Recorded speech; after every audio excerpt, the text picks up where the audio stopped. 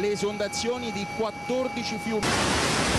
Migliaia di persone sono senza acqua potabile e senza corrente immerse in un lago. La situazione della fattoria è questa, le galline non sappiamo dove sono. 21 corsi d'acqua esondati, 250 frane in 48 comuni. Ci avviciniamo alle zone più colpite. Sostanze chimiche, rifiuti agricoli e industriali. E l'emergenza potrebbe diventare anche igienico-sanitaria. La vaccinazione antitetanica. Quarto giorno di alluvione, ancora allerta rossa, è tornata la pioggia.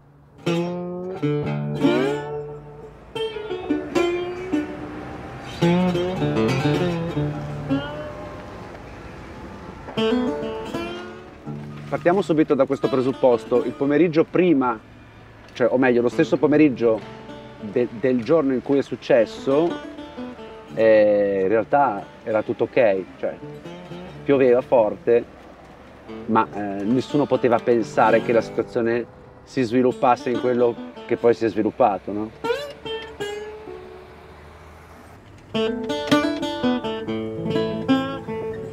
Nel senso che il fiume ha invaso il centro del paese a tutti gli effetti.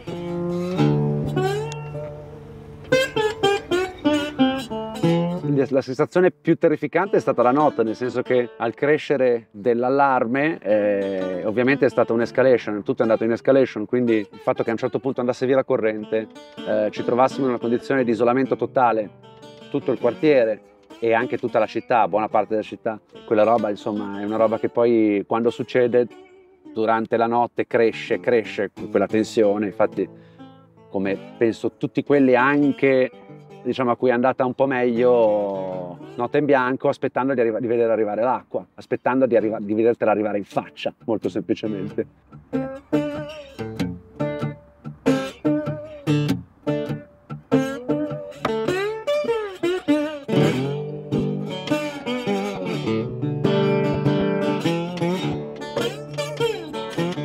Sono Fabbri, sono un musicista che vive a Faenza e non sono sempre stato a Faenza, sono di origine romagnola ma vivo a Faenza da tre anni e mi sono trovato anch'io come tutti gli altri in una situazione drammatica.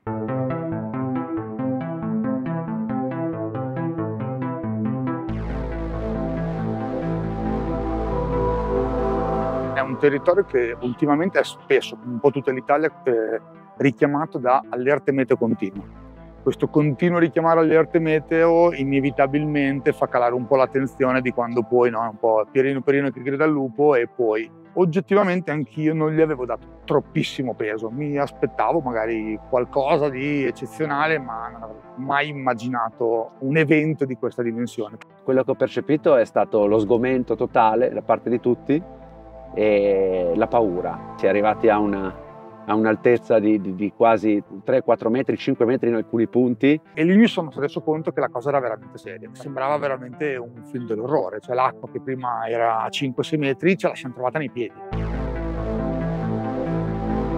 Mi chiamo Alex Raffoni, sono un ingegnere, mi occupo di impianti prevalentemente legati all'efficientamento energetico, quindi tutto quello che è il mondo impianti, costruzioni e quant'altro e sono abituato a coordinare persone, quello è quello che faccio tutti i giorni. La vita viene accatastata fuori dalle case delle persone, cioè questo è quello che succede. I propri strumenti per magari la propria professione o le foto o i mobili o i vestiti, tutta una vita. Vedo, vedo tante persone che hanno perso tutto ma che non ho visto scene di disperazione, onestamente mi sarei aspettato scene di gente con le mani nei capelli. Non ho visto scene di disperazione, ho visto scene di gente che quando si è arrabbiata è perché magari ancora le forze dell'ordine, anche giustamente, non li facevano accedere a casa, che avevano voglia di andare a capire cosa era successo e di mettersi al lavoro per, per, risolvere, per risolvere il problema. La reazione è stata subito immediata di rimboccarsi le maniche e di stamparsi immediatamente un sorriso in faccia, tirato in molti casi,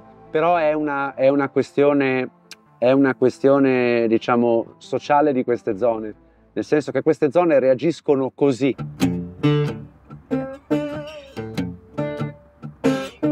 I remember I was with, uh, with Flavio. Flavio was outside trying to contain the water.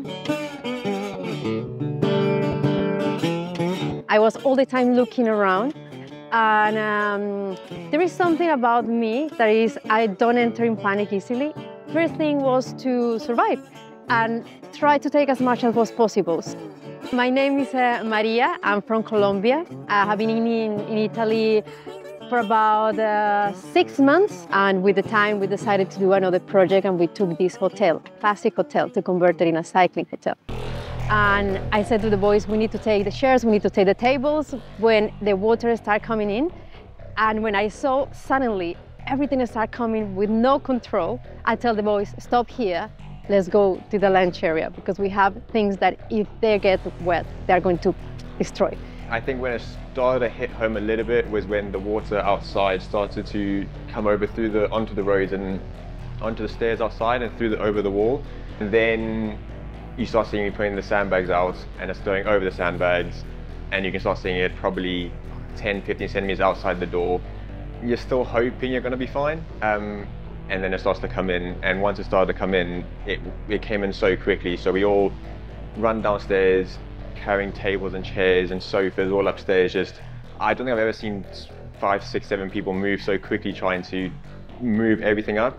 You wake up the next morning and obviously it stopped flooding, but you stand outside on the balcony and you can just see everything's just completely covered. Some proper heavy weights that have just been completely swept across the floor to the other side. You're going, it just showed how, how quickly it came in. The next day was, uh, was a very shocking. Um, we decided to stay in the hotel. You had opportunity to leave and you see everything quiet because if this town is quiet, that day was completely quiet in the morning.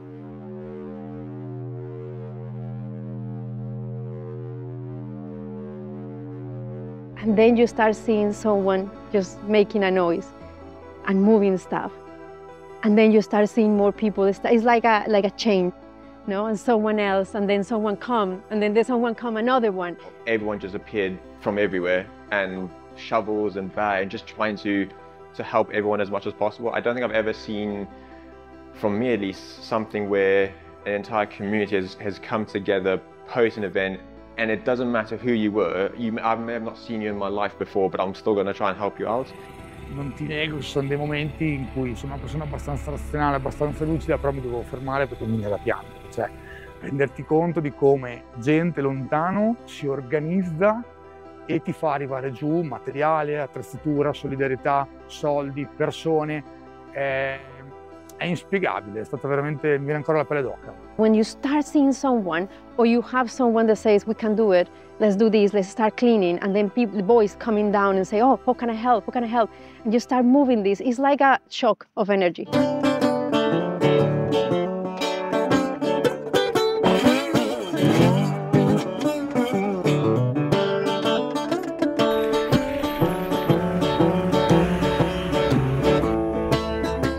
Dico che nelle prime ore c'era il problema di avere più gente che richieste, c'erano più persone disposte ad aiutare che case che in quel momento si poteva andare a pulire perché magari c'era ancora l'acqua. È commovente, credetemi, cioè, sono stati dei momenti veramente mo- molto molto forti. Cioè, rendersi conto di come ragazzi, che adesso no, va tanto di moda dire che i ragazzi non voglia di fare niente, sono quelli che sono lì a sporcarsi le mani, sono veramente quelli che sono lì a sporcarsi le mani. In questo gruppo che abbiamo organizzato, che adesso abbiamo chiamato Romagna Ti Aiutiamo, col Ti Amo in evidenza, quello che stiamo facendo non è altro che coordinarli e dargli le attrezzature. Abbiamo subito creato dei gruppi tematici, quindi abbiamo il gruppo degli elettricisti, il gruppo degli idraulici, in modo tale che ognuno di loro quando si trovava davanti alla situazione di potenziale pericolo che gli avevamo segnalato, era tenuto a chiamare la persona esperta. Quello che realmente serve, che adesso finalmente è iniziato a, ad arrivare, sono tutti i prodotti per la pulizia, quindi da, per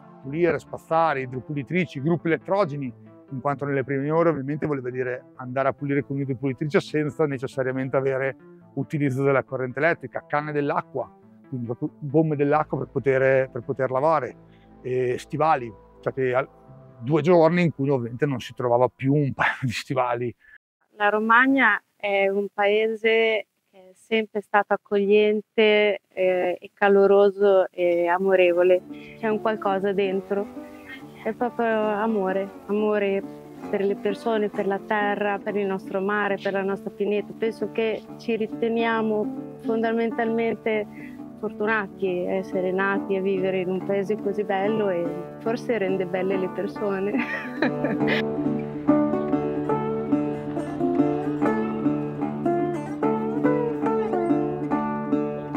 Mi chiamo Sabrina, ho 52 anni, sono nata a Cervia, faccio parte di, di, varie associazioni, tutte rivolte alla beneficenza e ho sempre amato eh, aiutare, penso mi dà piacere, è una cosa che mi dà gioia. In the hard moment, you people start smiling. And, and for me, for example, it was very important. It was very important to say to people, um, we can do it. Ci si vuole bene, insomma, anche ci si aiuta senza che uno chieda niente o senza che debba fare, come posso dire, della pubblicità o delle è bello. There is a story, a little story that I'm going to, to tell now because it's, it's really beautiful. Two girls, they were sisters, or they are sisters. So one was 20 something and the other little one was eight. And they went to Flavio and say like, hey, I want to help. And Flavio said like, who you are? I don't know. You say, yes, yes, you don't know me, but we are here. Definitely was something that is uh, a relief, basically. I can describe this as a relief.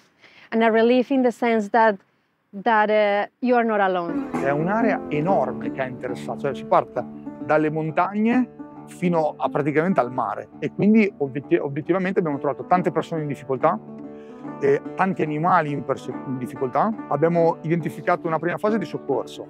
Lì l'obiettivo è non ci frega di nient'altro, si va a soccorrere chi è in difficoltà. Eravamo dotati di quattro squadre, sia motore che, che a remi, per andare nelle zone in cui l'acqua si alternava al fango. E poi c'è una fase 1 che è quella della pulizia, quindi l'acqua si è ritratta, vuol dire andare con idropulitrici, canne dell'acqua, disinfettanti, prodotti per la pulizia, pale, cariole, dobbiamo togliere quello che purtroppo la natura ci ha portato, ci ha portato dentro. La fase 2 ha iniziato a diventare quello che è i ripristini di base, quindi dobbiamo ripristinare l'impianto elettrico, dobbiamo ripristinare l'impianto di riscaldamento, la caldaia non ti parte, andiamo a disinfettare ulteriormente le superfici. E poi c'è l'ultima fase che è la fase 3 che è della ricostruzione, quindi stiamo parlando di gente che ha perso gli arredi, ha perso gli elettrodomestici, ha perso le automobili, ha perso tutto. Nei primi giorni mi piangeva il cuore vedere che la gente buttava via tutti gli elettrodomestici, tutti quelli che sono frigor, freezer,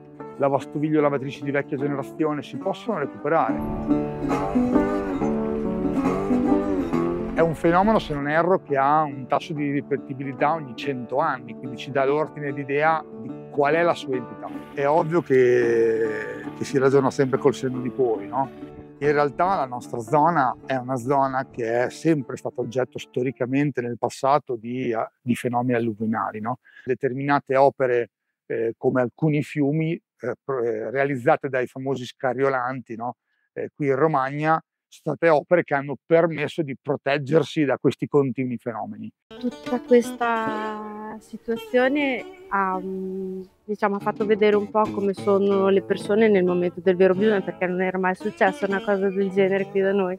Ci aspettavamo, ci avevano avvisato, ci aspettavamo una cosa grande, ma non a livelli così disastrosi. La domanda vera è dove andremo? Eh, dove andremo? Cioè, perché non basta naturalmente un certo tipo di spirito, ci vuole poi eh, una, una, formula di organizzazione di, di, o di riorganizzazione della società che poi segua anche come si dice, il buonsenso rispetto a, a, un accadimento di questo tipo. Sicuramente è un fenomeno che porterà a un ragionamento un po' più approfondito sull'utilizzo del suolo, magari sull'utilizzo di quelle che vengono chiamate casse d'espansione, no? quindi quelle zone che io vado ad allagare per riuscire a contenere, eh, a contenere diciamo, queste, questi eventi eccezionali che però a mio avviso per come leggo io la cosa non sono neanche eccezionali, noi dobbiamo semplicemente iniziare a fare i conti con questi aspetti. Questo problema si risolve solo in maniera organizzata, sia come pensiero sia dal punto di vista pratico.